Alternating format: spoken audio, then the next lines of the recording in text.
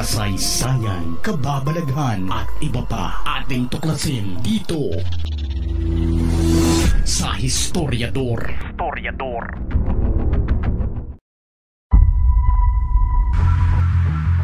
Kahit sino ka man o ano ka man, ay wala itong sinasanto kapag meron kang pusong nasaktan, ay posibleng ikaw ay babalikan. Ito marahil ang nangyari sa nooy tinitingala, nirerespeto at hinahanga ang atleta ng bansa sa larangan ng marathon noong dekada 80. Pinagharian niya ang nooy napakasikat na taunang ginagawang Milo Marathon sa bansa. Sa edad niyang 18 anyos noong 1981 ay siya ang naging pinakabatang kampiyon sa kasaysayan ng Milo Marathon. Siya, si Jimmy De La Torre na tubong putotan Iloilo. Ipinanganak noong 1963. Kahit nagmula sa mahirap na pamilya ay hindi ito naging hadlang sa kanya para abutin ang kanyang pangarap, maaga itong nagsanay sa larong kanyang nakahiligan kung kaya't mabilis itong naging kampyon at nilampaso ang iba pang mga marathoners na mas matanda at mas eksperensyado kesa kanya. Nasungkit nito ang SEA Games Gold Medal noong 1981 sa Manila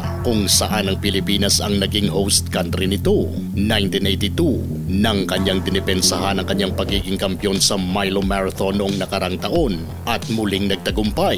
Ayon sa mga nakakakilala kay Jimmy noon, habang nag-aaral daw ito bilang estudyante ng kursong Marine Engineering sa Western Institute of Technology kung saan ay may humigit kumulang 20 kilometro ang layo mula sa kanyang tinitirhan ay kanya lang daw itong tinatakbo kada araw. Hindi raw ito halos pumapalya maliban na lang kapag umuulan.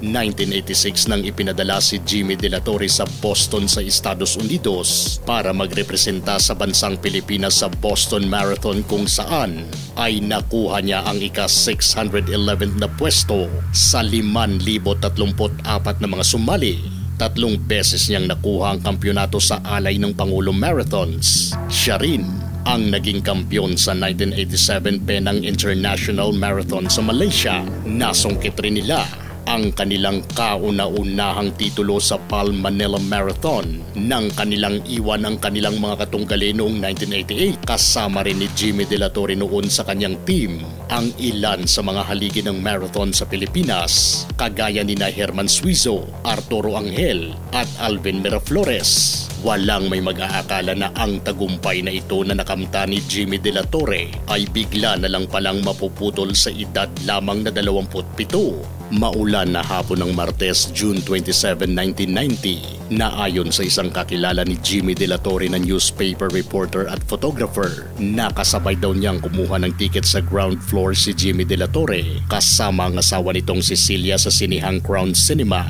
na ngayoy kinatitirikan na ng PNB. Nagkamustahan pa raw silang dalawa at pagkatapos noon ay nauna na ang reporter na umakyat sa balcony section ng sinihan.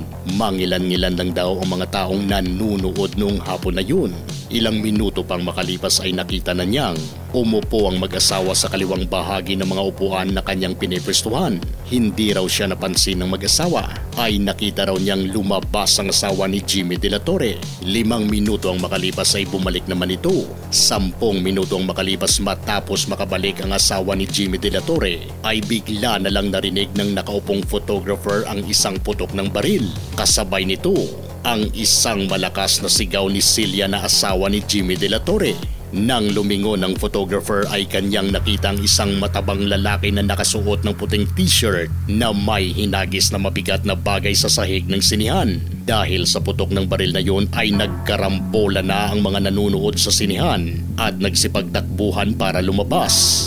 Nakita rin ng photographer na nakisabay ang matabang lalaki na posibleng bumarel kay Jimmy sa paglabas kasama ng mga manonood. Kaagad na kinuha ng photographer ang kamera sa kanyang bag at kinuha na ng litrato ang naghihingalong gold medalist ng SEA Games at hari ng Milo Marathon na si Jimmy De La Torre ayon sa photographer. Nakita daw niyang tumitirik ang mga mata nito habang nanginginig ang katawan. Sapol sa kanyang sintido si Jimmy De La Torre nang ito'y birahin ng hindi nakilalang lalaki. Ayon pa sa photographer, naghihisterikal na raw ang asawa ni Jimmy Pero wala naman daw itong ginagawa habang tinitingnan lamang ang nakahandusay nitong asawa. Mas lalo pa raw itong umiyak ng malakas nang dumating na ang mga reporters at kapulisan na recover sa scene of the crime. Ang baril na ginamit sa pagbira kay Jimmy. Ito ay isang paltik na kalibre 38. May nasampahan ng kaso sa pagkatumba ng marathon runner pero na-dismiss naman ito dahil sa kakulangan ng naipresenta na ebidensya. Mapahangga ngayon, 33 taon na ang nakakalipas ay hindi pa rin nalaman kung sino nga ba talaga ang nagpatumba at kung bakit niya ito ginawa kay Jimmy De La Torre. Isang anggulo ang malakas na pinaniniwalaan ng mga nakakakilala sa kanya. Ito raw ay dahil sa anggulong love triangle. Ang tanong, sa tingin nyo ba'y may kinalaman ng asawa noon ni Jimmy De La Torre? Kung gusto nyo ng mga ganitong klaseng videos, panoorin, pindutin ang notification bell, mag-subscribe at i-share sa mga kaibigan. Maraming salamat po hanggang sa susunod dito sa Historiador. Historiador.